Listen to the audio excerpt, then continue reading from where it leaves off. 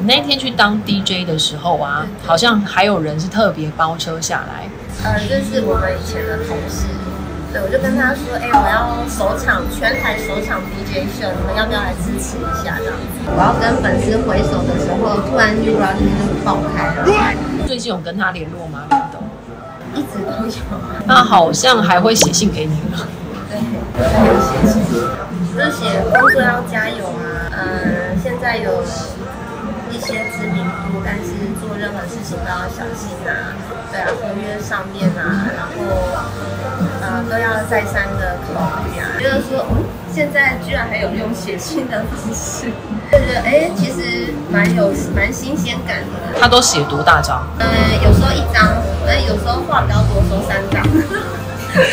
你那天去当 DJ 的时候啊，好像还有人是特别包车下来。对对对。他们是呃，这是我们以前的同事，对，我就跟他说，哎、我要首场全台首场 DJ 秀，你们要不要来支持一下？这样子，他们就说好啊，姐这样一说，当然要来呀、然后所以他们就很够义气的，然后就搭包车啊，从台北这样下来。所以他们是你说同事嘛，是联董以前的，哦，对对对，以前我们有一起相处过的好同事。算是联董的小弟啦。对啊，对啊，他们也算是保护我啦，因为毕竟夜店的那个场合嘛，就是也担心粉丝可能会很激动啊，还是说会有什么意外发生，所以他们也是呃基于保护我的立场，然后所以也到场来支持。那天是不是就是要上台前有非常惊险的状况？嗯，对，因为要上台的时候，我要跟粉丝挥手的时候，突然 New Bra 这边就爆开了，然后我就想说天哪，怎么办？然后工作人员就赶快就是让我下台，然后在我的身上缠了五圈的那个胶带先贴着这样子。对，那大家有围观吗？没有，因为还好没有人发现，是我自己发现的，因为我突然发现 Bra 好像掀起了。对。本来是都没事，但是没有想到做动作的时候突然掀起来了。那不就还好，是在上台前发现。对，还好是在上台前发现。你那一天的那个造型啊，是很性感，对不对？对对对，是走一个性感半假的那个和服造型。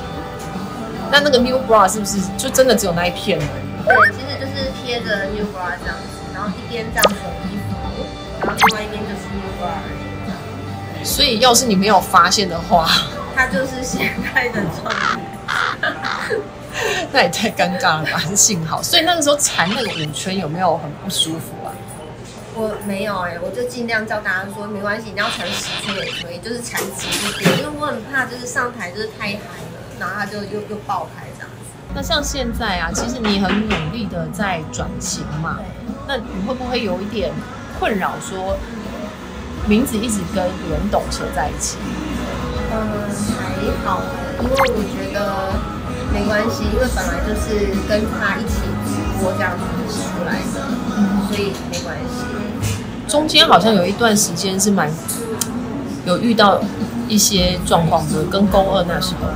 哦，对对对，那时候可能呃受到一点点影响，所以当时原本有跟某个厂厂商有合作，但是因为这个关系，然后就突然间取消。那你有跟联董讲吗？那时候？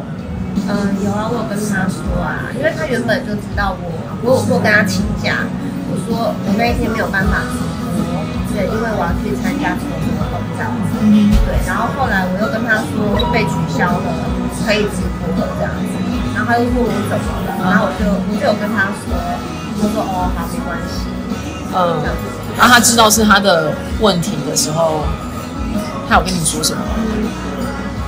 嗯，跟他说，嗯，最近最近一些一些事情的原因，然后所以厂商觉得不太适合我去这样子。对，因为我也不能把错全部怪在他身上。嗯，最近有跟他联络吗？联董？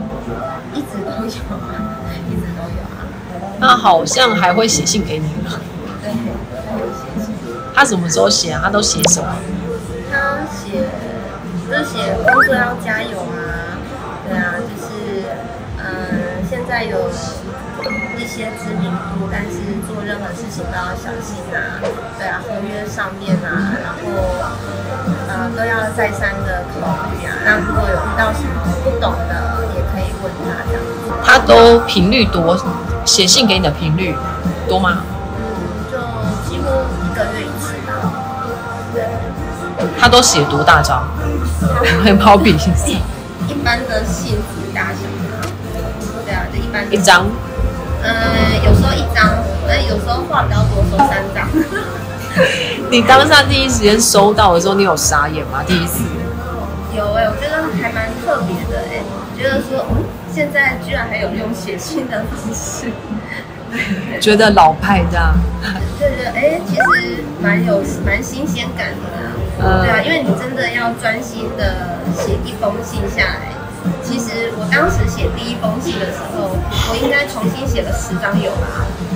你说回信给他吗？对，就是写了一句之后就嗯，好像这样写不太好，然后又撕掉重写，然后又写写写，哎，这张字有点丑，不 然再重写。对，大概重复了十次这样子，也许他也写了很多次。嗯，有可能。对，